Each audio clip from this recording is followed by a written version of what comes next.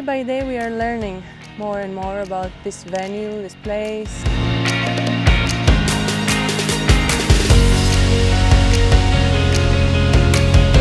Not sure about today's racing, but I know tomorrow will bring more wind and we'll get more races done.